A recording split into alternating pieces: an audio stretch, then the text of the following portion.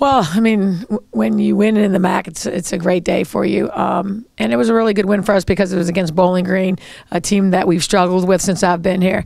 That was my first victory against Bowling Green, but it, it was a big game for our kids. They were fired up for the game. They knew the last couple years we we let a couple games. Uh, in reach get get out and I was just really really happy there was twice I think we were down by eight or nine points where our kids could have given up, but they grinded and grinded and grinded. And in the second half, I thought our defense was so much better. Our rebounding was so much better. So I give a, a, our kids a lot of credit. Obviously, Hannah Luberg, you know, had a career night, 25 points, 15 rebounds. Um, I know that she's she's had games where she scored more points, but I think that's her her best in rebounding. And um, just really, really happy for her uh, because she gave us some great offensive rebounds when we needed it it, but it gives the kids confidence. I mean, we know who the top teams are. We know, you know, like to be a top team, you got to beat the top teams. You got to got to beat Toledo's. You got to beat right now the Central Michigans who, who have done extremely well, and then you got to beat Bowling Green. And you know we didn't play really well versus Toledo, and Central Michigan you know was a better team that night. And you know to have gone down three games in a row that would have been devastating for our kids.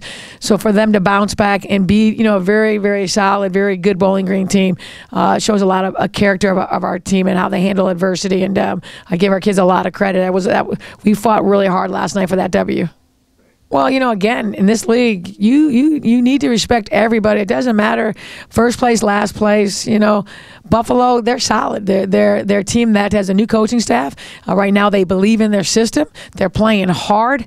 Um, you know, I, it didn't surprise me that they beat Miami. They've had a couple other nice wins too, and so we're gonna have to respect them. Uh, well coached.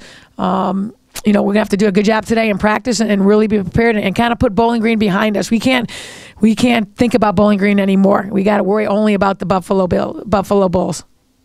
You know, but it's it's, it's equal for both. Um, will be a light workout today on the court. Uh, we'll watch tape from uh, last night's game, and then we'll watch tape and go over the scouting report on Buffalo, and then we'll get on the court and uh, work on some things that we need to improve on from last night and things that we need to do to uh, to uh, have a chance to beat Buffalo.